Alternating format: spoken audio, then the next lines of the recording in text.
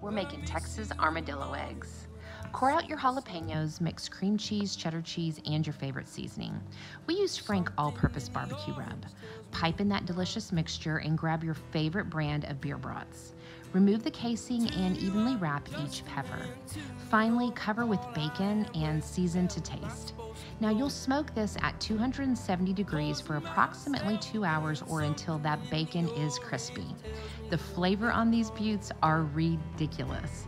Check out the full recipe on our website. You can see the link below.